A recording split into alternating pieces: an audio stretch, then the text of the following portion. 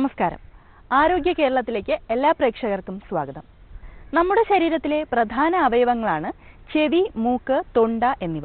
ഈ ഭാഗങ്ങളെ ബാധിക്കുന്ന രോഗങ്ങൾക്ക് പലപ്പോഴും പരസ്പര ബന്ധവും ഉണ്ടാകാം. കൊച്ചുകുട്ടികൾ മുതൽ മുതിർന്നവർ വരെ എല്ലാ പ്രായക്കാരെയും ഇ എൻ ഡി പ്രശ്നങ്ങൾ ബാധിക്കാറുണ്ട്. ഇ എൻ ഡി പ്രശ്നങ്ങളുടെ കാരണങ്ങൾ എന്തൊക്കെയാണ്? ചികിത്സാ രീതികൾ ഏതൊക്കെയാണ്? എന്നീ കാര്യങ്ങൾ പരിശോധിക്കാം ഇന്ന് ആരോഗ്യ കേരളത്തിൽ. കുട്ടികളിൽ പ്രത്യേകിച്ച് നവജാത ശിശുക്കളിൽ നിർത്താതെയുള്ള കരച്ചിൽ കാണാറുണ്ട്. ചെവിയിലെ അണുബാധ ഇതിനൊരു കാരണമായേക്കാം. ജലദോഷമുള്ളപ്പോൾ ശരിയായ ചികിത്സ ലഭിക്കാതിരുന്നാൽ ചെവിയിൽ അണുബാധ ഉണ്ടാവുകയും ചെവി വേദനയ്ക്ക് കാരണമായി തീരുകയും ചെയ്യാം. മുതിർന്നവരിലും ഈ അവസ്ഥ ഉണ്ടാകാറുണ്ട്. ചെവിയിൽ അഴുക്ക് അടിഞ്ഞുകൂടിയും ചെവിവേദന ഉണ്ടായേക്കാം. ഇ എൻ ടി എന്നുള്ള വൈദ്യശാഖ ഇയർ നോസ് ത്രോട്ട് എന്നീ മൂന്ന് പ്രധാന അവയവങ്ങൾ അതായത് ചെവി തൊണ്ട മൂക്ക് എന്നിവയെ സംബന്ധിച്ചുള്ള അസുഖങ്ങളെപ്പറ്റി പ്രതിപാദിക്കുന്ന വൈദ്യശാസ്ത്രമാണ്. സാധാരണഗതിയിൽ ചെവിയെയും തൊണ്ടയും മൂക്കിനെയും ബാധിക്കുന്ന അസുഖങ്ങൾ പരസ്പരം ബന്ധപ്പെട്ട് കിടക്കുകയാണ്. ഒരു അവയവത്തിന് ഉണ്ടാകുന്ന അസുഖം അനാറ്റമിക്കൽ കോൺഫിഗറേഷൻ മൂലം മറ്റ് അവയവങ്ങളിലോട്ട് സ്പ്രെഡ് ചെയ്യാനുള്ള സാധ്യത വളരെ കൂടുതലാണ്. കൂടുതലും കുട്ടികളിലാണ് ഈ രോഗങ്ങൾ കണ്ടുവരുന്നത്. പ്രധാനമായും കുട്ടികളിൽ കാണുന്ന അസുഖത്തിന് കാരണം ഇടയ്ക്കിടെ വരുന്ന ജലദോഷവും തുമ്മലും അങ്ങനെയുള്ള അസുഖങ്ങൾ കാരണമാണ് ഈ ചെവിക്ക് ചെവിക്കും അതോടനുബന്ധിച്ച് മൂക്കിനും തൊണ്ടയ്ക്കും പ്രശ്നങ്ങൾ ഉണ്ടാകുന്നത്. ചെവിക്ക് ഉണ്ടാകുന്ന ഇൻഫെക്ഷൻ കാരണം കുട്ടികൾ നിരന്തരം ഒരു കാരണവുമില്ലാതെ മറ്റുള്ളവർക്ക് മനസ്സിലാക്കാൻ പറ്റാത്ത രീതിയിൽ കരയുക എന്നുള്ളതാണ് പ്രധാനമായിട്ടും കാണുന്നത്. അതിന്റെ കൂടെ ജലദോഷം വരാം ആഹാരം കഴിക്കാൻ അല്ലെങ്കിൽ വെള്ളം കുടിക്കാൻ ബുദ്ധിമുട്ടുണ്ടാകാം പനിയുണ്ടാകാം പൊതുവെ ഒരു അലസത ക്ഷീണം മയക്കം ഉറക്കം അങ്ങനെ പല അസുഖങ്ങളും ഇതോട് ബന്ധിപ്പിച്ചുണ്ടാകാം. തുടക്കം ജലദോഷമായിട്ടാണ് വരുന്നത്. ജലദോഷം വന്നിട്ട് അത് തൊണ്ടയിലോട്ടും ചെവിയിലോട്ടും സ്പ്രെഡ് ചെയ്ത് ചെവിയിലോട്ട് സ്പ്രെഡ് ചെയ്യുന്നത് യുസ്റ്റേഷ്യൻ ട്യൂബ് എന്നുള്ള ഒരു ചെറിയ കുഴൽ വഴിയാണ്. അതിന്റെ ഒരറ്റം മിഡിൽ ഇയർ എന്ന് പറയും. മധ്യകർണത്തിലും മറ്റേ അറ്റം നെയ്സോഫാരിങ്സ് അതായത് നമ്മുടെ മൂക്കിന്റെ ഏറ്റവും പുറകു ഭാഗത്തുമായിട്ടിരിക്കുന്ന ഒരു ചെറിയ ട്യൂബ് വഴിയാണ് മൂക്കിലെ ഇൻഫെക്ഷൻ ചെവിയിലോട്ട് സ്പ്രെഡ് ചെയ്യുന്നത്. അപ്പോൾ കുട്ടികൾ വളരെയധികം അസ്വസ്ഥത പ്രകടിപ്പിക്കുകയും പനി ജലദോഷം നിർത്താതെയുള്ള കരച്ചിൽ അങ്ങനെയുള്ള പല ബുദ്ധിമുട്ടുകൾ ഉണ്ടാകുകയും ചെയ്യാറുണ്ട്. പലപ്പോഴും അത് ശരിക്കുള്ള ചികിത്സ കിട്ടാത്തത് കാരണം ഓട്ടൈറ്റിസ് മീഡിയ അഥവാ മധ്യകർണത്തിലെ ഇൻഫെക്ഷൻ പഴുപ്പായിട്ട് മാറുകയും മധ്യകർണവും എക്സ്റ്റേണൽ ഇയറും അതായത് എക്സ്റ്റേണൽ ഇയറും മിഡിൽ ഇയറും കൂടെ ബന്ധിപ്പിക്കുന്ന ടിംബാനിക് മെംബ്രെയിൻ പൊട്ടി ആ പഴുപ്പ് വെളിയിലോട്ട് വരുമ്പോൾ മാത്രമേ കുട്ടികൾക്ക് ഒരു ആശ്വാസം ഉണ്ടാവുകയുള്ളൂ. പക്ഷേ അതോടുകൂടി ചെവിക്കകത്ത് വെള്ളം കയറുകയോ ജലദോഷം വരികയോ ചെയ്യുമ്പോൾ കൂടെ കൂടെ മധ്യകർണത്തിലെ പഴുപ്പ് വെളിയിലോട്ട് വരികയും ശരിക്കുള്ള ചികിത്സ കിട്ടാതെ വരികയാണെങ്കിൽ ടിംബാനിക് മെംബ്രെയിനിലെ ദ്വാരം വലുതാകുകയും ക്രമേണ കേൾവിക്കുറവ് തലകറക്കം കൂടെ കൂടെ ചെവി പഴുപ്പ് അങ്ങനെ പല പ്രശ്നങ്ങളും ഉണ്ടാവുകയും ചെയ്യും. അതിന് ജലദോഷം വന്ന ഉടനെ അഥവാ ചെറിയ ഒരു അസ്വസ്ഥത കാണിക്കുമ്പോൾ തന്നെ ഉടനെ ഒരു ഡോക്ടറെ കഴിയുന്നതും ഒരു ഇ എൻ ടി വിദഗ്ധനെ തന്നെ കാണിക്കണം. കൂടാതെ കുട്ടികൾക്ക് വരുന്ന മറ്റൊരു അസുഖമാണ് അഡിനോയിഡ് ഗ്രന്ഥി കാരണം വരുന്ന ജലദോഷം. അഡിനോയിഡ് എന്ന് പറയുന്നത് മൂക്കിന്റെ പിറകെയുള്ള ഒരു ഗ്രന്ഥിയാണ്. അത് സാധാരണഗതിയിൽ അഞ്ച് വയസ്സ് വരെയാണ് കാണുന്നത്. അഞ്ച് വയസ്സ് കഴിഞ്ഞാൽ സാധാരണഗതിയിൽ അത് ചുരുങ്ങാറുണ്ട്. ചില കുട്ടികളിൽ അത് ചുരുങ്ങാതിരിക്കുമ്പോൾ മൂക്കിന് മൂക്കിൽ കൂടെ ശ്വസിക്കാൻ ബുദ്ധിമുട്ടുണ്ടാവുകയും രാത്രി കുട്ടി ഉറങ്ങുമ്പോൾ വായിൽ കൂടെ ശ്വസിക്കുകയും ചെയ്യും. അത് കാരണം രാത്രി കുട്ടിക്ക് ശരിക്ക് ശരിക്കുള്ള ഉറക്കം കിട്ടാതെ വരികയും കൂടെ കൂടെ ചെവി പഴുപ്പും ചെവിയിലെ വേദനയും ഉണ്ടാകാനും സാധ്യതയുണ്ട്. അതുപോലെ തൊണ്ടയിൽ ഈ അഡിനോയിഡിന്റെ കൂടെ ടോൺസിൽ എന്നുള്ള ഗ്രന്ഥിയും വലുതാകാനും പഴുക്കാനും സാധ്യതയുണ്ട്. അത് കാരണം ആഹാരം കഴിക്കാനും വെള്ളം വെള്ളവും ദ്രവരൂപത്തിലുള്ള ആഹാരങ്ങൾ കഴിക്കാൻ പോലും ബുദ്ധിമുട്ടുണ്ടാകും. അങ്ങനെയുള്ള കുട്ടികളിൽ സാധാരണഗതിയിൽ ഇൻഫെക്ഷൻ വരാതെ അഥവാ ജലദോഷം വരാതെ നോക്കുകയാണ് വേണ്ടത്. അതുപോലെ തുടക്കത്തിൽ തന്നെ ആന്റിബയോട്ടിക് ചികിത്സയും ഡീകൺജസ്റ്റൻസ് എന്ന് പറയും. പിന്നെ അവിടുത്തെ ആ നീർക്കോട് മാറാനുള്ള ഗുളികകളുണ്ട്. നെയ്സൽ ഡ്രോപ്സ് മൂക്കിലൊടിക്കുന്ന മരുന്നുണ്ട് അതൊക്കെ ഉപയോഗിച്ച് നമുക്ക് ഒരു പരിധി വരെ ആ അസുഖം തടഞ്ഞു നിർത്താൻ സാധിക്കും. പിന്നെ കുട്ടികൾക്ക് കഴിയുന്നതും തണുത്ത ആഹാരം കൊടുക്കാതിരിക്കുന്നതാണ് നല്ലത്. ഇങ്ങനെയുള്ള കുട്ടികളിൽ അലർജി ഉണ്ടാകാനുള്ള സാധ്യത കൂടുതലാണ്. അലർജിയുള്ള കുട്ടികൾക്കാണ് കൂടെ കൂടെ മത്സ്യകരണത്തിലെ പഴുപ്പും മറ്റ് അസുഖങ്ങളും ഉണ്ടാകുന്നത്. അതേപോലെ നിർത്താതെയുള്ള തുമ്മൽ മറ്റൊരു പ്രശ്നമാണ് അലർജി ഗ്രൈനൈറ്റിസ് എന്ന് പറയും. അത് കുട്ടികളിലും മുതിർന്നവരിലും സാധാരണ കാണുന്നുണ്ട്. അതിന് സാധാരണഗതിയിൽ നമ്മൾ അലർജൻ എന്ന് പറഞ്ഞാൽ ഈ ഇതുണ്ടാക്കുന്ന ഈ അലർജി ഉണ്ടാക്കുന്ന പരിസരത്തിൽ നിന്നും അല്ലെങ്കിൽ അങ്ങനെയുള്ള വസ്തുക്കളിൽ നമ്മൾ കഴിയുന്നതും അകന്നു നിൽക്കുക അല്ലെങ്കിൽ അത് ഒഴിവാക്കുക എന്നുള്ളതാണ് ഏറ്റവും പ്രധാന കാര്യം. പിന്നെ നമുക്ക് ചെയ്യാവുന്നത് മൂക്കിലടിക്കുന്ന നെയ്സൽ സ്പ്രേ ഉണ്ട്. ഈ അലർജിക്ക് എതിരെയുള്ള സ്പ്രേ ഉണ്ട്. പിന്നെ ഡിക്കൺജസ്റ്റൻസ് എന്ന് പറയുന്ന ഗുളികകളുണ്ട്. ആ ഗുളികകൾ ഉപയോഗിക്കാം മൂക്കിൽ സ്പ്രേ ഉപയോഗിക്കാം. പിന്നെ ഏറ്റവും പ്രധാനം അലർജി ഉണ്ടാക്കുന്ന വസ്തുക്കളിൽ നിന്നും ഒഴിവാകുക അത് അലർജി പലതരത്തിലുണ്ട്. ഫുഡിന്റെ അലർജി ആകാം നമ്മുടെ അന്തരീക്ഷത്തിലുള്ള പൊടി പൊടിപടലങ്ങളാകാം നമ്മുടെ വീട്ടിൽ വളർത്തുന്ന മൃഗങ്ങളുടെ രോമത്തിന്റെ ഇതാകാം അല്ലെങ്കിൽ നമ്മുടെ ബെഡ്ഷീറ്റിലും മറ്റും കാണുന്ന ഈ നമ്മുടെ നഗ്ന നേത്രങ്ങൾക്ക് ആ അരൂപമായ എന്തെങ്കിലും പൊടിപടലം കൊണ്ടാണ് സാധാരണഗതിയിൽ അങ്ങനെ ഉണ്ടാകുന്നത്. അത് അലർജിക് റൈനൈറ്റിസ് ഒരു പരിധി വരെ മാത്രമേ നമുക്ക് നിയന്ത്രിക്കാനും ചികിത്സിച്ചു മാറ്റാനും സാധിക്കുകയുള്ളൂ.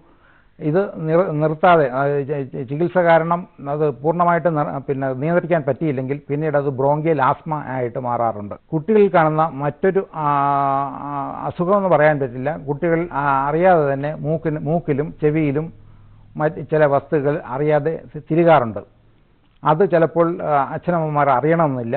കുറേ ദിവസം കഴിഞ്ഞ ശേഷം ചെവിക്കകത്ത് വേദനയോ മറ്റു പ്രശ്നങ്ങളോ ഉണ്ടാകുമ്പോഴാണ് നാം അത് ശ്രദ്ധിക്കാറുള്ളത്. അത് പലതരത്തിലുള്ള സാധനങ്ങളാകാം. കണ്ടുപിടിച്ചാൽ ഉടനെ തന്നെ നമ്മളതൊരു ഇ എൻ ടി വിദഗ്ധനെ കാണിക്കുകയും അതിനുവേണ്ട ശുശ്രൂഷകൾ ചെയ്യുകയും വേണം.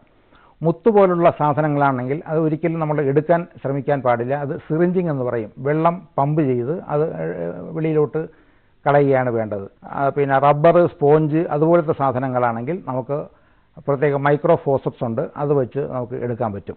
പ്രാണികൾ വല്ലതും കയറുകയാണെങ്കിൽ അത് കുട്ടികളിലും മുതിർന്നവരിലും വരാം. രാത്രി കിടന്നുറങ്ങുമ്പോൾ എന്തെങ്കിലും പ്രാണികൾ അകത്ത് കയറുകയാണെങ്കിൽ ഒരിക്കലും അത് ജീവനോടെ നമുക്ക് എടുക്കാൻ സാധിക്കില്ല. അത് കാരണം അത് അതുകൊണ്ട് അതിനെ ആദ്യം കൊല്ലുക അതിനെ നശിപ്പിക്കുക എന്നുള്ളതാണ്. അത് സാധാരണഗതിയിൽ നമുക്ക് വീട്ടിൽ ഹൗസ് ഹോൾഡ് റെമഡി ആയിട്ട് വെളിച്ചെണ്ണ ഒഴിക്കാം അല്ലെങ്കിൽ ലോക്കൽ അനസ്തറ്റിക് എന്നൊരു സാധനമുണ്ട്. അത് നമ്മൾ ഒഴിക്കുമ്പോഴേക്കും ആ പ്രാണി ചാവും. പിന്നെ കുട്ടികളിൽ ഉണ്ടാകുന്ന വേറൊരു പ്രശ്നം പ്രീ ആർക്കുലാർ സൈനസ് എന്ന് പറയുന്ന ഒരു അസുഖം. സാധാരണഗതിയിൽ ചെവിയുടെ ഫ്രണ്ടിലായിട്ട് ചെവിയുടെ മുൻവശത്തായിട്ട് ചെറിയൊരു ദ്വാരം മാത്രമേ കാണുകയുള്ളൂ. ചിലപ്പോൾ അത് അതിന്റെ ട്രാക്ക് ഉള്ളിലോട്ട് പോയിട്ടുണ്ടാവും. അപ്പോൾ ആ ദ്വാരം ഇങ്ങനെ നഖം കൊണ്ട് വല്ലതും ചെറുതായിട്ട് മുറിയുകയാണെങ്കിൽ സ്ക്രാച്ച് വീണിട്ട് അത് ഇൻഫെക്ഷൻ ഉണ്ടായിട്ട് പ്രിയാറിക്കുലാർ ഇൻഫെക്ഷൻ ഒരു സിസ്റ്റ് മാതിരി ഉണ്ടായിട്ട് വേദനയും പഴുപ്പും ഒക്കെ വരാൻ സാധ്യതയുണ്ട്. അത് നിശേഷം മാറണമെങ്കിൽ നമുക്കത് ഓപ്പറേറ്റ് ചെയ്ത് മാറ്റാനേ കഴിയുകയുള്ളൂ.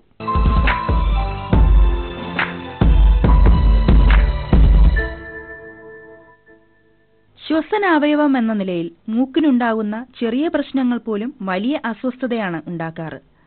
ജലദോഷം മുതൽ ക്യാൻസർ വരെയുള്ള പല പ്രശ്നങ്ങളും മൂക്കുമായി ബന്ധപ്പെട്ട് കാണാറുണ്ട്. അതുകൊണ്ട് തന്നെ അതീവ പ്രാധാന്യത്തോടുകൂടി കാണേണ്ടവയാണ് മൂക്കിനെ ബാധിക്കുന്ന പ്രശ്നങ്ങൾ. പൊതുവെ രോഗികൾ മൂക്കിലെ പ്രശ്നവുമായിട്ട് ഇ എൻ ഡി ഡോക്ടർമാരെ സമീപിക്കുന്നത് പതിവാണ്. അതിൽ മൂക്കിനുള്ള ദശവളർച്ച ഒരു പ്രധാനപ്പെട്ട രോഗലക്ഷണമാണ്. മൂക്കിനുള്ളിലെ ദശവളർച്ച എന്ന് പറയുമ്പോൾ പ്രധാനമായിട്ടും മൂന്ന് കാരണങ്ങളാണ് രോഗികൾ ഡോക്ടറെ സമീപിക്കുന്നത്. ഒന്ന് മൂക്കിനകത്തുള്ള അതിലെ സാധാരണ ഘടനയുടെ ഭാഗമായിട്ടുള്ള ടർബിനേറ്റ് എന്നൊരു ചത.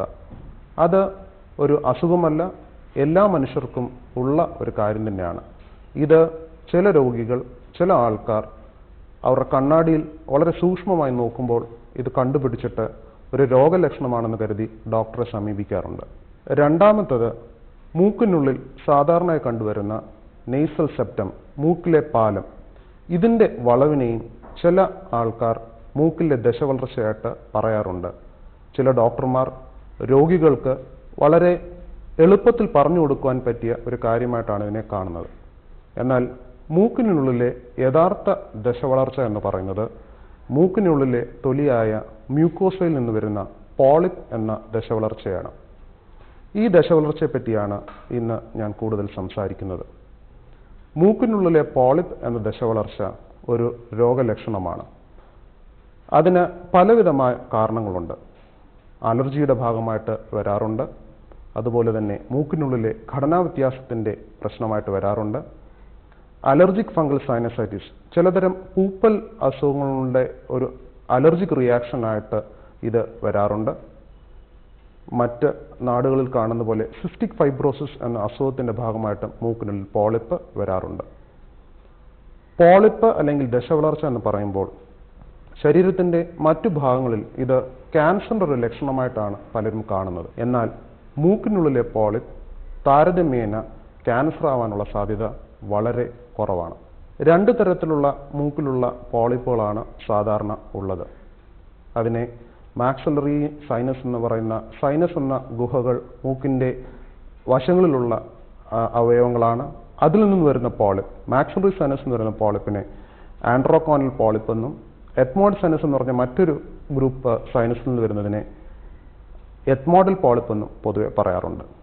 എത്മോഡ് പോളിപ്പ് പൊതുവെ ഇൻഫെക്ഷന്റെ അല്ലെങ്കിൽ അണുബാധയുടെ ശേഷം വരുന്ന ഒരു കാര്യം തന്നെയാണ് നേരത്തെ അത് അലർജിയുടെ ഭാഗമായിട്ട് വിചാരിച്ചിരുന്നു. എന്നാൽ അതിനേക്കാൾ കൂടുതൽ അണുബാധയ്ക്ക് ശേഷമാണ് ഇത് വരുന്നത്. മാക്സിമം സൈനസ് നിന്ന് വരുന്ന പോളിപ്പ് അല്ലെങ്കിൽ ആൻഡ്രോകോണൽ പോളിപ്പ് പൊതുവെ ആ സൈനസിന്റെ ഘടനാ വ്യത്യാസത്തിന് അനുസരിച്ചാണ് അത് വരുന്നത്. ഈ രണ്ട് പോളിപ്പുകൾ എന്താണെന്ന് മനസ്സിലാകണമെങ്കിൽ ഏത് തരത്തിലുള്ളതാണെന്ന് മനസ്സിലാക്കണമെങ്കിൽ ഒരു വിദഗ്ധ ഇ എൻ ഡോക്ടറിന്റെ സേവനം കൂടിയേ മതിയാവും. ഈ പോളിപ്പ് ഒരു രോഗിയിൽ എന്തൊക്കെ ബുദ്ധിമുട്ടുകളാണ് ഉണ്ടാക്കുന്നത്? മൂക്കിന്റെ മൂക്ക് നമ്മളെ സംബന്ധിച്ച് ശ്വസിക്കുവാനുള്ള ഒരു അവയവം കൂടിയാണ്. അപ്പോൾ ഈ പോളിപ്പ് അതിൽ നിറഞ്ഞു നിൽക്കുകയാണെങ്കിൽ അത് ശ്വാസതടസ്സത്തിന് കാരണമാകും. അതുപോലെ തന്നെ മണമറിയാനുള്ള അല്ലെങ്കിൽ ഗന്ധമറിയാനുള്ള നമ്മുടെ ശേഷിയും മൂക്കിനെ ആശ്രയിച്ചാണ് ഇരിക്കുന്നത്. പോളിപ്പ് മൂക്കിനുള്ളിൽ വളർന്നത് നിറയുകയാണ് എങ്കിൽ ഗന്ധമറിയാനുള്ള ശേഷിക്കുറവും രോഗികളെ സംബന്ധിച്ച് ഉണ്ടാകും. ഗന്ധം അറിയുക എന്നുള്ളത് നമ്മുടെ രുചിയെയും ബാധിക്കുന്ന ഒരു കാര്യമായതുകൊണ്ട് രോഗികളെ വല്ലാതെ അലട്ടുന്ന ഒരു രോഗലക്ഷണമാണിത്. മൂക്കിലെ ഈ അടവ് അല്ലെങ്കിൽ ശ്വാസതടസ്സം രോഗികളെ സംബന്ധിച്ച് അവരുടെ ഉറക്കത്തിന് തടസ്സത്തിനും പലപ്പോഴും കാരണമായി മാറും. ഈ വിധ രോഗലക്ഷണങ്ങളുമായിട്ടാണ് രോഗികൾ പൊതുവെ ഒരു ഇ എൻ ഡോക്ടറെ സമീപിക്കാറ്. എന്താണ് ഈ രോഗികളിൽ നാം ചെയ്യുന്നത്? ഒരു വിദഗ്ധ ഡോക്ടറിന് മൂക്കിനുള്ളിലേക്ക് നോക്കുമ്പോൾ തന്നെ ഏത് തരത്തിലുള്ള പോളിപ്പാണ് അല്ലെങ്കിൽ എന്താണ് പ്രധാനപ്പെട്ട കാരണമെന്ന് ഏകദേശം ഒരു ധാരണ കിട്ടും. എന്നാൽ കൂടുതൽ പരിശോധനയിൽ കൂടി മാത്രമേ എന്തുതരം പോളിപ്പുകളാണ് ഈ പോളിപ്പുകൾ എത്ര വലുതാണ് അല്ലെങ്കിൽ എന്തുമാത്രം പ്രശ്നം ഇതുണ്ടാക്കുന്നുവെന്ന് മനസ്സിലാക്കാൻ കഴിയുള്ളൂ.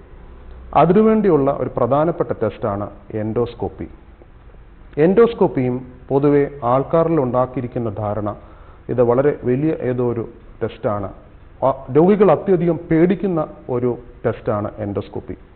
എന്നാൽ ഇ എൻ ഡിയിലെ എൻഡോസ്കോപ്പി മൂക്കിനുള്ളിൽ ചെറിയൊരു ട്യൂബ് ഇടുകയും ആ ട്യൂബ് ഇടുന്നത് വഴിയായിട്ട് ഒരു ടി വിയിൽ നമ്മൾ അത് വ്യക്തമായിട്ട് കാണുകയും ആ മൂക്കിനുള്ളിലെ ഘടന അല്ലെങ്കിൽ ഈ പോളിപ്പ് എത്രമാത്രം വലുതാണ് നമ്മൾ മനസ്സിലാക്കുകയും ചെയ്യുന്ന ഒരു ടെസ്റ്റാണ് എൻഡോസ്കോപ്പി. രോഗിക്ക് ഒരു രാവിലെ വന്നാൽ അല്ലെങ്കിൽ ഒരു ക്ലിനിക്കിലേക്ക് നടന്നു ചെല്ലുന്ന അതേ ലാഘവത്തോടു കൂടി ആ സമയത്ത് തന്നെ ചെയ്ത് പ്രത്യേകിച്ച് തയ്യാറെടുപ്പുകളൊന്നും ഇല്ലാതെ ചെയ്ത് ഏതാനും മിനിറ്റുകൾക്കുള്ളിൽ പരിശോധന തീർത്ത് തിരിച്ചു പോകാവുന്ന ഒരു ടെസ്റ്റാണ് ഇ എൻ ഡിയിലെ നെയ്സൽ എൻഡോസ്കോപ്പി ഈ എൻഡോസ്കോപ്പി ധാരാളം വിവരങ്ങൾ ഒരു ഇ എൻ ഡി ഡോക്ടറിന് നൽകുന്നതാണ്. കൂടുതൽ ടെസ്റ്റുകൾ ഒരുപക്ഷെ ഇതിന്റെ തുടർ ചികിത്സയുടെ ഭാഗമായിട്ടാണ് പലപ്പോഴും വേണ്ടിവരാറ് ഈ രോഗിക്ക് സർജറി എന്നുള്ള ചികിത്സ വേണമെന്നുണ്ടെങ്കിൽ ചിലപ്പോൾ സി ടി സ്കാൻ നമുക്ക് എടുക്കേണ്ടി വരും. ബാക്കി ഉള്ള പരിശോധനകളെല്ലാം ഈ എൻഡോസ്കോപ്പിയെ ആശ്രയിച്ചാണ് പലപ്പോഴും നിൽക്കുന്നത്. എന്താണ് മൂക്കിലെ ദശ വളർച്ചയുടെ ചികിത്സ? ഞാൻ നേരത്തെ പറഞ്ഞതുപോലെ എത്മോഡൽ പോളിപ്പ് എന്നുള്ള ദശവളർച്ച ആണെന്നുണ്ടെങ്കിൽ അതിന്റെ ആദ്യത്തെ ചികിത്സ മരുന്നാണ് ഏറ്റവും പ്രധാനം. മരുന്നിൽ ഏറ്റവും പ്രധാനമായിട്ട് നമ്മൾ ഉപയോഗിക്കുന്നത് സ്റ്റിറോയിഡ് മരുന്നുകളാണ്. സ്റ്റിറോയിഡ് എന്ന മരുന്നുകൾ കേൾക്കുമ്പോൾ തന്നെ പലർക്കും ധാരാളം സംശയങ്ങളും പേടിയുമുണ്ട്. കാരണം വളരെയധികം പാർശ്വഫലങ്ങളുള്ള ഒരു മരുന്നാണ് സ്റ്റിറോയിഡ്. പോളിപ്പിൽ നമ്മൾ പലപ്പോഴും ഉപയോഗിക്കുന്നതും ഇതേ തരത്തിലുള്ള സ്റ്റിറോയിഡ് മരുന്നുകളാണ്. അത് രണ്ട് തരത്തിലാണ് രണ്ട് രൂപത്തിലാണ് ഉപയോഗിക്കുന്നത്. ഗുളിക രൂപത്തിലും മൂക്കിലടിക്കുന്ന നേസൽ സ്പ്രേ എന്ന രൂപത്തിലും. മൂക്കിലടിക്കുന്ന നേസൽ സ്പ്രേ സ്റ്റിറോയിഡുകൾ പൊതുവെ പാർശ്വഫലങ്ങൾ വളരെ കുറവുള്ള ഒന്നാണ്. അത് എത്ര അടിച്ചാലും അത് എത്ര ഉപയോഗിച്ചാലും രക്തത്തിലേക്ക് അധികം അലിഞ്ഞു ചേരാത്തതുകൊണ്ട് പാർശ്വഫലങ്ങൾ നന്നേ കുറവാണ്. എന്നാൽ വളരെ വലിയ പോളിപ്പ് അല്ലെങ്കിൽ ദശവളർച്ച ഉള്ളവർക്ക് ഗുളിക രൂപത്തിലുള്ള സ്റ്റിറോയിഡ് വളരെയധികം ഗുണം ചെയ്യും. അത് ആവശ്യവുമാണ്. അതിന്റെ പാർശ്വഫലങ്ങളെപ്പറ്റി വ്യക്തമായ ധാരണ രോഗിക്കുണ്ടാവണം. ഡോക്ടർ ഇത് പറഞ്ഞ് മനസ്സിലാക്കി മാത്രമേ അത് ഉപയോഗിക്കാൻ തുടങ്ങുകയുള്ളൂ ഒരു ഡോക്ടറുടെ മേൽനോട്ടത്തിൽ ഈ ഒരു മരുന്ന് കഴിക്കുന്നത് കൊണ്ട് വലിയ പ്രശ്നങ്ങളൊന്നും ഉണ്ടാകുവാൻ സാധ്യതയില്ല. എന്നാൽ അതിനെപ്പറ്റിയുള്ള വ്യക്തമായ ധാരണ രോഗിക്ക് ഉണ്ടായേ പറ്റൂ. പലപ്പോഴും ഇങ്ങനത്തെ ഔഷധങ്ങൾ ഉപയോഗിക്കുമ്പോൾ അതിന്റെ ഗുണമാണ് നമ്മൾ പലപ്പോഴും ശ്രദ്ധിക്കേണ്ടത്. ദോഷഫലങ്ങൾ മാത്രമല്ല. സ്റ്റിറോയിഡ് ദശവളർച്ചയെ സംബന്ധിച്ച് വളരെയധികം ഗുണം ചെയ്യുന്ന ഒരു മരുന്നാണ്. സ്റ്റിറോയിഡിലും മാറാതെ നിൽക്കുന്ന ദശവളർച്ചയ്ക്കാണ് പലപ്പോഴും സർജറി അല്ലെങ്കിൽ ശസ്ത്രക്രിയ വഴി അതിനെ ചികിത്സിച്ച് ഭേദമാക്കേണ്ടതായിട്ട് വരുന്നത്. ഞാൻ ആദ്യം പറഞ്ഞതുപോലെ തന്നെ മാക്സിലറി സൈനസ് എന്നുള്ള ആൻഡ്രോകോണൽ പോളിപ്പ് അതിന് മരുന്നുകളില്ല ചികിത്സ ശസ്ത്രക്രിയ മാത്രമാണ്. ശസ്ത്രക്രിയയ്ക്ക് ശേഷവും എത്മോഡ് പോളിപ്പിന് പലപ്പോഴും ഈ സ്റ്റിറോയിഡ് ചികിത്സ തുടരേണ്ടി വരുന്നതായിട്ട് കാണുന്നു. ചില രോഗികൾ ചോദിക്കും ഇത് ഓപ്പറേഷൻ ചെയ്താലും വീണ്ടും വരുമോ? വീണ്ടും വരാൻ സാധ്യത ഉള്ള ഒരു രോഗമാണ് എത്മോഡ് പോളിപ്പ് എന്നാൽ തുടർ ചികിത്സ ഒരു വിദഗ്ധ ഡോക്ടറിന്റെ ശരിയായ മേൽനോട്ടത്തിൽ നടത്തുകയാണെങ്കിൽ അത് വീണ്ടും വരുവാനുള്ള സാധ്യത വളരെ കുറവാണ്. ഇപ്രകാരം ഈ ദശ വളർച്ചയെപ്പറ്റി നമുക്ക് കിട്ടിയ ഈ വിജ്ഞാനം വെച്ച് നമുക്ക് ഇതുപോലുള്ള രോഗലക്ഷണങ്ങൾ വരുമ്പോൾ ഒരു വിദഗ്ധ ഡോക്ടറിന്റെ ചികിത്സ നമുക്ക് ലഭിക്കുകയും ആ ഡോക്ടർ പറയുന്ന തരത്തിലുള്ള പരിശോധനകൾ ചെയ്തുകൊണ്ട് ഈ രോഗത്തെ പൂർണമായും ശമിപ്പിക്കുവാൻ നമുക്ക് സാധിക്കുന്നതാണ്.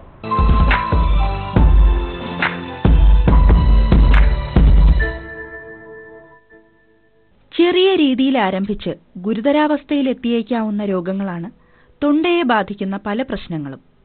ഒച്ചയടപ്പ് ശബ്ദവ്യത്യാസം തുടങ്ങി സംസാരത്തിന് തന്നെ തകരാറുകൾ ഉണ്ടാക്കാവുന്ന പല പ്രശ്നങ്ങളും തൊണ്ടയുമായി ബന്ധപ്പെട്ട് കണ്ടുവരാറുണ്ട്. മനുഷ്യന്റെ ഏറ്റവും വലിയ ഒരു വരദാനങ്ങളിൽ ഒന്നാണ് സംസാരിക്കാനുള്ള കഴിവ്. കമ്മ്യൂണിക്കേറ്റിംഗ് പവർ അത് നമ്മുടെ എങ്ങനെയാണ് എന്നുള്ളത് പറയുകയാണെന്നുണ്ടെങ്കിൽ ശരിക്കും അത് നമ്മുടെ സ്വനപേടകം എന്ന് പറയും. ലാരിങ്സ് ഇതിനകത്ത് വരുന്ന വോക്കൽ കോഡ് വൈബ്രേറ്റ് ചെയ്തിട്ടാണ് നമുക്ക് സൗണ്ട് ഉണ്ടാകുന്നത്. നമ്മൾ ഈ ഈ നെഞ്ചിൽ നിന്ന് വരുന്ന ശ്വസിക്കുന്ന എയർ വെളിയിലോട്ട് പുറത്തു വിടുമ്പോൾ ആ വരുന്ന ആ സമയത്ത് നമ്മുടെ വോക്കൽ കോഡിനെ ഒരു ബാൻഡ് പോലുള്ള രണ്ട് സൈഡിലുമുള്ള വോക്കൽ കോഡിനെ ടൈറ്റായിട്ട് പിടിക്കുമ്പോൾ ആ വോക്കൽ കോഡ് വൈബ്രേറ്റ് ചെയ്യുമ്പോഴാണ് ഈ സൗണ്ട് ഉണ്ടാകുന്നത് അപ്പം അത് അതുകൊണ്ട് മാത്രം സൗണ്ട് ഉണ്ടാവുമെങ്കിലും ഈ സംസാരിക്കണമെങ്കിൽ ആ സൗണ്ട് കൊണ്ട് മാത്രം സംസാരിക്കാനൊക്കെയില്ല അതിനെ നമ്മൾ മോഡിഫൈ ചെയ്യുന്നുണ്ട്. നമ്മുടെ നാക്കിന്റെ പ്രവർത്തനം കൊണ്ട് ത്രോട്ടിന്റെ പ്രവർത്തനം കൊണ്ട്. ആ സൗണ്ടിനെ മോഡിഫൈ ചെയ്തിട്ട് ആണ് നമ്മൾ റെസണൻസും എല്ലാം കൊടുത്തിട്ടാണ് നമ്മുടെ സംസാരം എന്ന് പറയുന്ന ആ ഒരു സ്ഥിതിയിലോട്ട് പോകുന്നത്. അപ്പം നം മനുഷ്യനെ സംബന്ധിച്ചിടത്തോളം ഈ സംസാരവും ഈ ലാംഗ്വേജും വളരെ വളരെ പ്രധാനപ്പെട്ട കാര്യമാണ്. അത് നമ്മൾ ഇപ്പോഴത്തെ കാലത്ത് വളരെയധികം മിസ്യൂസ് ചെയ്യുന്നുണ്ട്. പ്രത്യേകിച്ച് ആൾക്കാർ വളരെയധികം സംസാരിക്കുന്ന ഒരു പ്രവണതയുള്ളത് പ്രത്യേക ഈ പ്രൊഫഷണൽ അല്ലായിട്ട് കൂടുതൽ ഉപയോഗിക്കുന്നവർ. അതിപ്പം നമ്മുടെ നാട്ടിൽ വളരെ കൂടിയിരിക്കുക കുട്ടികൾ വരെ വളരെയധികം പ്രോഗ്രാമുകളിലൊക്കെ അവർ ശക്തിയെടുത്ത് സംസാരിക്കുകയും പാടുകയും ഒക്കെ ചെയ്യുമ്പോൾ അത് അവർ പ്രോപ്പറായിട്ട് ഇത് മനസ്സിലാക്കിയിട്ടാണോ ചെയ്യുന്നതെന്ന് എനിക്ക് സന്ദേഹമുണ്ട്. അതിൽ വോക്കൽ കോഡിൽ നമ്മൾ സംസാരിക്കുമ്പോൾ പ്രത്യേകിച്ച് മനസ്സിലാക്കേണ്ടത് സംസാരിക്കുന്നതിന് കുഴപ്പമില്ല. പക്ഷേ അത് നിർത്തി നിർത്തി സ്ലോയിൽ വേണം സംസാരിക്കാൻ. അല്ല ഒരു ഒറ്റ ശ്വാസത്തിൽ അതായത് നമ്മുടെ ഈ ശ്വാസം എയർ പ്രഷർ കൊണ്ടാണ് നമുക്ക് സൗണ്ട് വരേണ്ടത്. പക്ഷേ നമ്മൾ ഒറ്റ ശ്വാസത്തിൽ സംസാരിച്ചുകൊണ്ടിരിക്കുമ്പോൾ ഓട്ടോമാറ്റിക്കായിട്ട് വോക്കൽ കോഡിന്റെ ടെൻഷൻ ക്രമേണ കൂടി കൂടി ആ സൗണ്ടിന്റെ ലൗഡ്നെസ് കീപ്പ് ചെയ്യാനുള്ള ഒരു കപ്പാസിറ്റി ഉണ്ട്. അപ്പോൾ അത് പലരും കൂടുതലായിട്ട് ഉപയോഗിക്കേണ്ട സ്ഥിതിയിൽ പെടും ഒരു ഒറ്റ ശ്വാസത്തിൽ നിർത്താതെ സംസാരിക്കുന്ന ഒരു ശീലമുള്ളവർക്ക് അത് കൂടുതലും അഫക്റ്റ് ചെയ്യുന്നത് ഈ പ്രൊഫഷണൽ വോയിസ് പ്രൊഫഷണൽസ് എന്ന് പറയുന്ന പോലെ ടീച്ചേഴ്സിന് അത് പ്രധാനമാണ്. രാഷ്ട്രീയക്കാരെ സംബന്ധിച്ചിടത്തോളം പ്രധാനമാണ്. പ്രീസ്റ്റുകളെ പറ്റി അവർക്കും വളരെ പ്രധാനപ്പെട്ട കാര്യമാണ്. സിംഗേഴ്സ് ഇവർക്കെല്ലാം അത് വളരെ സൂക്ഷിക്കേണ്ട കാര്യമാണ്. പ്രൊഫഷണൽ വോയിസ് യൂസേഴ്സ് നമ്മൾ പറയും. അപ്പോൾ അവരൊക്കെ പ്രത്യേകിച്ച് നമ്മൾ സംസാരിക്കുമ്പോൾ നിർത്തി നിർത്തി നമ്മൾ സംസാരിക്കുന്നൊരു ശീലവും ആ പ്രോപ്പറായിട്ടുള്ള ബ്രീത്തിങ് എക്സസൈസ് ചെയ്യുകയും പ്രോപ്പറായിട്ട് പാടാനുള്ള ആ ഒരു ശാസ്ത്രീയമായിട്ടുള്ള ഒരു ഒരു ട്രെയിനിങ് ലഭിച്ചതിന് ശേഷം മാത്രം പാടാൻ ശ്രമിക്കുകയും ഒക്കെ ചെയ്യുന്നത് വളരെ ഇമ്പോർട്ടന്റ് ആണ്. ഇതിൽ വോക്കൽ കോഡിന്റെ ഒരു പ്രത്യേകത എന്ന് പറഞ്ഞു കഴിഞ്ഞാൽ അത് ഒരു ബാൻഡ് പോലുള്ള ഒരു നീളത്തിലുള്ള രണ്ട് സൈഡിലുമുള്ള ബാൻഡാണ്. ഇതിൽ പൊതുവേ രക്തോട്ടം കുറവാണ്. പക്ഷേ മിസ്യൂസ് ചെയ്യുകയോ ഓവർ യൂസ് ചെയ്യുകയോ ചെയ്യുകയാണെങ്കിൽ കണ്ടിന്യൂസ് ആയിട്ട് മണിക്കൂറുകൾ സംസാരിക്കുകയൊക്കെ ചെയ്താൽ ആ വോക്കൽ കോഡിനകത്ത് നീർക്കെട്ടുണ്ടാവുകയും ആ നീർക്കെട്ടുകൾ കല്ലിച്ചിട്ട് വോക്കൽ നോഡ്യൂളുകളോ അല്ലെങ്കിൽ വോക്കൽ പോളിപ്പുകൾ എന്നൊക്കെ പറയുന്ന തടിപ്പുകൾ ഉണ്ടാവാൻ സാ ഉണ്ടാവും. അത് വന്നു കഴിഞ്ഞ് കഴിഞ്ഞാൽ അത് ഓരോ പ്രാവശ്യം ഉള്ള ശബ്ദം കുറഞ്ഞുകൊണ്ടേയിരിക്കും. സാധാരണ നമ്മുടെ വരുന്ന പെട്ടെന്നുണ്ടാകുന്ന ഒരു ശബ്ദമടപ്പം എന്ന് പറയുന്നത് കൂടുതലും ഒരു വൈറസ് ഇൻഫെക്ഷൻ കൊണ്ടാണ് വരുന്നത്. അതിന് നമ്മൾ അക്യൂട്ട് ലാരിഞ്ചൈറ്റിസ് എന്ന് പറയും. അപ്പോൾ അത് രണ്ടോ മൂന്നോ ദിവസം വോയിസ് റെസ്റ്റ് എടുത്ത് നമ്മൾ ഇച്ചിരി ആവിയൊക്കെ പിടിച്ച് വേണമെങ്കിൽ പെയിൻ ഉണ്ടെങ്കിൽ പെയിന്റെ മരുന്നുകളും കഴിക്കുക വെച്ചാൽ മാറാറുണ്ട്. പക്ഷേ അപൂർവം ചിലപ്പോൾ അതൊരു ബാക്ടീരിയൽ ഇൻഫെക്ഷൻ ആണെങ്കിൽ ആന്റിബയോട്ടിക് കൂടെ കഴിക്കേണ്ടി വരും. പക്ഷേ ഏത് ഒച്ചയടപ്പും നമ്മളൊരു പ്രായമുള്ള വ്യക്തികൾ പ്രത്യേകിച്ച് രണ്ടാഴ്ചയിൽ കൂടുതൽ നിൽക്കുകയാണെങ്കിൽ മറ്റു പല രോഗങ്ങളും വല്ലതും ഉണ്ടോ എന്നുള്ള നമ്മൾ ശ്രദ്ധിക്കേണ്ടി വരും. അത് എൻഡോസ്കോപ്പി ഫ്ലെക്സിബിൾ ലാരംഗോസ്കോപ്പി എന്ന് പറയുന്ന ഒരു ടെസ്റ്റ് ഉണ്ട്. അതിൽ കൂടെ നമുക്ക് വോക്കൽ കോഡ് കൃത്യമായിട്ട് കാണാൻ സാധിക്കും. നോഡ്യൂളിൽ ഡെവലപ്പ് ചെയ്യുന്നുണ്ടോ? ഈ അതിനകത്ത് ഇൻഫ്ലമേഷൻസ് ഉണ്ടോ? വോക്കൽ കോഡിൽ ഇൻഫ്ലമേഷൻ ഉണ്ടോ? മറ്റ് അൾസറുകളുണ്ടോ? ഗ്രോത്തുകളുണ്ടോ? എന്ന് വെച്ച് കഴിഞ്ഞാൽ വോക്കൽ കോഡിനകത്ത് വരുന്ന ക്യാൻസർ ഒരു ഒരു വളരെ അപൂർവമല്ലാത്തൊരു ക്യാൻസറാണ് നമ്മുടെ നാട്ടിൽ. പക്ഷേ അതിന്റെ ഒരു പ്രത്യേകത എന്ന് പറഞ്ഞു കഴിഞ്ഞാൽ ആരംഭത്തിലെ മറ്റേത് ശരീരത്തിന്റെ ഏത് ഭാഗത്ത് വരുന്ന ക്യാൻസറിനേക്കാളും ആരംഭത്തിലെ കണ്ടുപിടിക്കാൻ പറ്റും.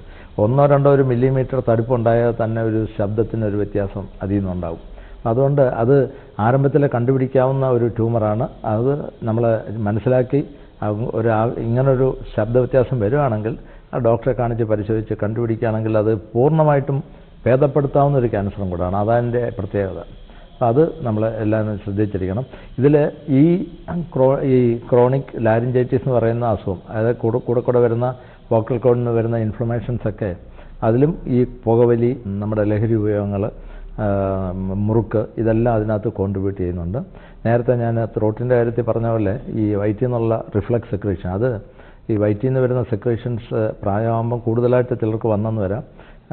ടെൻഷനുമായിട്ട് വളരെ റിലേറ്റഡ് ആണ്. അതിനകത്ത് ഈ ആസിഡ് മാത്രമല്ല ഡൈജസ്റ്റീവ് എൻസൈം നമ്മൾ കഴിക്കുന്ന മീറ്റിനെയൊക്കെ ദഹിപ്പിക്കുന്ന പെപ്സിൻ എന്നൊക്കെ പറയുന്ന ഡൈജസ്റ്റീവ് എൻസൈം കൂടെ ചേർന്നാണ് വരുന്നത്. അത് ആസിഡിനേക്കാളും ഡേഞ്ചറസ് ആണ് ഈ ഡൈജസ്റ്റീവ് എൻസൈംസ് ഇത് ശ്വാസക്കുഴലിൽ നിന്ന് തൊണ്ട വന്നിട്ട് ഈ വോക്കൽ കോഡിനകത്തോട്ട് ഇറങ്ങി അവിടെ ഒരു ഇൻഫ്ലമേഷൻ ഉണ്ടാക്കും. അത് അത് കണ്ടുപിടിക്കുകയാണെങ്കിൽ അതിനുള്ള പ്രതിവിധി നമ്മൾ ചെയ്യേണ്ടി വരും. ചെയ്താൽ ഇതെല്ലാം മാറുകയും ചെയ്യും. അതുകൊണ്ട് പ്രത്യേകിച്ച് നമ്മൾ അതേപോലെ ഈ പ്രൊഫഷണൽ വോയിസ് യൂസേഴ്സ് നമ്മുടെ നാട്ടിൽ പൊതുവേ ഈ ഐസ് കോൾഡ് തിങ് വളരെ അവോയ്ഡ് ചെയ്യുന്നത് വളരെ നല്ല തൊണ്ടയെ സംബന്ധിച്ചിടത്തോളം ഐസ് കോൾഡ് ആയിട്ടുള്ള ഐസ്ക്രീം ഐസ് വാട്ടർ ഇതെല്ലാം കുടിക്കുന്ന ഒരു ശീലം നമ്മുടെ നാട്ടിൽ ഇപ്പം ഉയർന്നു വരികയാണ് കുട്ടികളുടെ ഇടയിൽ പ്രത്യേകിച്ച്. അത് തൊണ്ടയ്ക്ക് ദോഷകരമാണ്. ഇത്തരം കാര്യങ്ങൾ നമ്മൾ മനസ്സിലാക്കി തൊണ്ടയെ നമ്മുടെ ഒരു ശരിക്കും പറഞ്ഞു കഴിഞ്ഞാൽ വളരെ നമ്മൾ അതിന്റെ ലൈഫ് എന്ന് പറയുന്നത് നമ്മുടെ കയ്യിലിരിക്കുകയാണ്. നമ്മൾ പ്രോപ്പറായിട്ട് അത് ചെറുപ്പം മുതലേ ഉപയോഗിക്കുകയാണെങ്കിൽ തൊണ്ണൂറ് വയസ്സായാലും തൊണ്ണൂറ്റാൽ വയസ്സായാലും നമുക്കത് പ്രോപ്പറായിട്ട് ഉപയോഗിക്കാൻ പറ്റും. അത് മനസ്സിലാക്കി നമ്മൾ വേണ്ട തൊണ്ടയ്ക്ക് വേണ്ട കെയർ നമ്മൾ ചെയ്യണം. അവിടെയും നമ്മൾ റിപ്പീറ്റഡായിട്ട് കാറി തുപ്പുകയൊക്കെ ചെയ്യുന്ന ആ ഒരു ശീലം. വോക്കൽ കോഡിനും വളരെ ഡേഞ്ചറസ് ആണ്. ഇ എൻ ഡി പ്രശ്നങ്ങൾക്ക് ചികിത്സ എപ്പോൾ തുടങ്ങുന്നു എന്നതാണ് ഏറ്റവും പ്രധാനം. കുട്ടികളിൽ ജലദോഷം ആരംഭിക്കുമ്പോൾ തന്നെ ചികിത്സ ആരംഭിക്കേണ്ടതാണ്. ജീവിതശൈലിയിൽ മാറ്റം വരുത്തുന്നതും പല ഇ എൻ ഡി പ്രശ്നങ്ങൾക്കും പരിഹാരമാണ്. ഇന്നത്തെ ആരോഗ്യ കേരളം ഇവിടെ പൂർണമാകുന്നു നമസ്കാരം.